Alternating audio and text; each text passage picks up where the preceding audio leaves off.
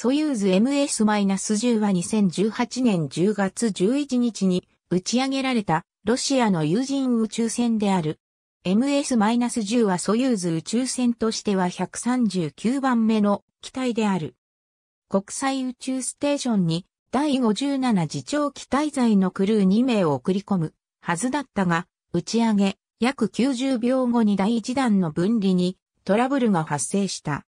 打ち上げ約114秒後に打ち上げ脱出システムが作動し、搭乗していたロシアのアレクセイ・オブチニン宇宙飛行士と NASA のニック・ヘーグ宇宙飛行士は無事生還した。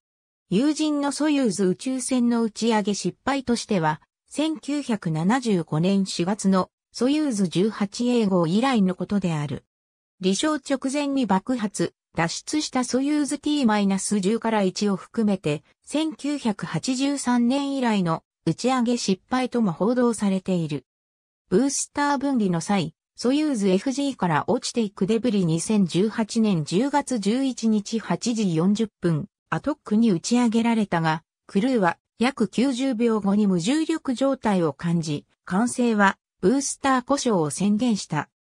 ロスコスモスのセルゲイ・クリカレフによれば、失敗の主要因は、ロケットの第1段と第2段を分離する際に両者が衝突したことで、標準の軌道からずれ、第2段の下部が崩壊したことが明らかであると述べた。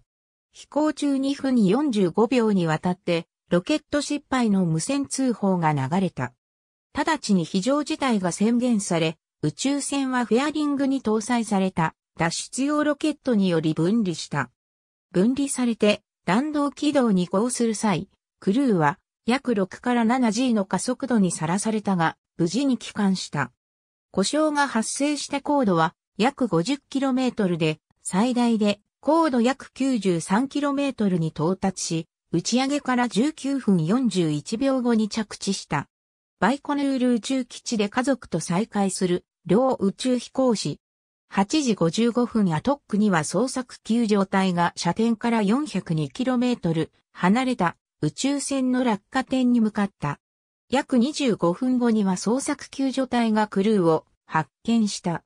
NASA-TV は12時4分アトックにクルーが無事にジェズカズガン空港でメディカルチェックを受けている様子を収めた写真を放送した。その後、クルーは飛行機でバイコヌール宇宙基地に戻り、家族と再会した後モスクワに向かった。ロシア政府は、すべての有人ソユーズ宇宙船の打ち上げを停止すると発表し、ロスコスモスは直ちに事故調査を開始した。ロスコスモスは、先に打ち上げられたソユーズ MS-09 の機体に穴が開いていた事件の捜査からわずか数週間で、再び調査委員会を立ち上げることになった。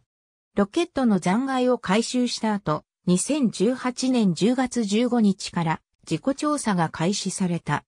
当初は第1弾ブースターに接続されているケーブルの不具合が疑われたが、2018年10月17日までに自己調査委員会はソユーズロケットの製造工程に焦点を絞り、調査期限を2018年10月21日に設定した。2018年10月18日までに第1弾ブースターと第1台コア機体が正しく接合されていなかったため、ブースターが破損して分離中にコア機体に接触しかねない状態にあったことが判明した。現在国際宇宙ステーションに滞在中のクルーには NASA から打ち上げ失敗が伝えられた。滞在中のクルーは係留中のソユーズ MS-09 を使って帰還できるが、ソユーズ宇宙船の軌道上滞在期間が200日以内となっているため、遅くとも2018年12月末までには帰還しなければならない。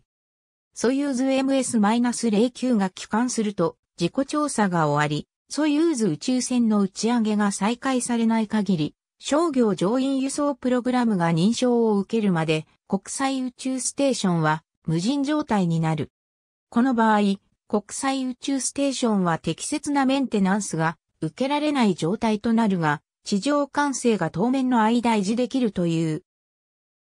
なお、事故の数日後にロスコスモス長官のドミトリー・ロゴージンは、オブチニンとヘーグの両宇宙飛行士を2019年初めには宇宙に送ることができる計画であると述べた。ありがとうございます。